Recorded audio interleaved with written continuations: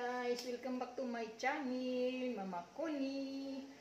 Magandang tanghali po sa ating lahat guys. Ako'y magluluto ng ulam namin ngayong tanghalian.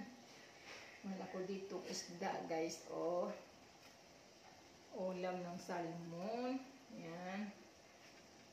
Ulo, ulo pala. Ulo ng salmon. Ako ditong okra. Ako ditong kamatis, aloy at saka sibuyas, asin. Ayan. Napakulo lang ko ng tubig, guys. Ayan. Ilagay ko na itong kamatis, saka aloy at kasibuyas. Ayan. Ayan.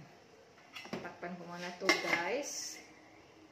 Ayan guys, oh, mukulo ng ating sabaw guys. Yan, meron pala ko dito guys na sayuti. Ihalo ko to guys sa isda para may gulay tayo. Yan, sayuti. Sayuti. Yan, tapang natin to guys para maluto. Medyo luto na konti ang ating sayuti guys ihalo ko na itong okra. Yan, okra. Okra. Lagyan ko ng seasoning.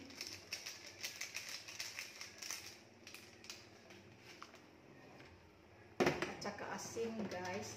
Talaga, para magkaroon ng lasa. Ang ating sabaw. Ayan. Takpan ulit. Dahil malambot ng ating gulay, guys, ihalo ko na itong isda. Ayan, isda ng salmon. Ulo to, guys. Ulo ng salmon. Ayan. Ulo ng salmon. Na natin to.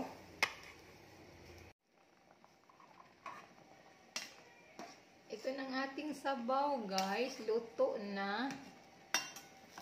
Ayan. Luto ng ating sabaw na isda. Ayan. Yummy, yummy.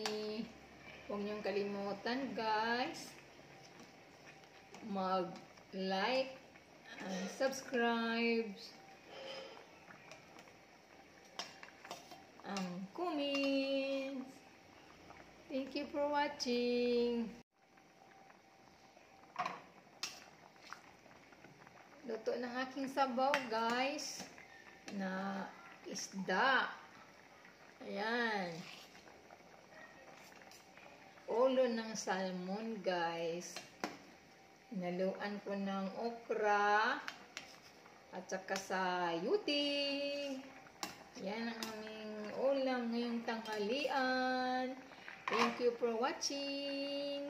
Huwag niyong kalimutan. Mag-like, follow,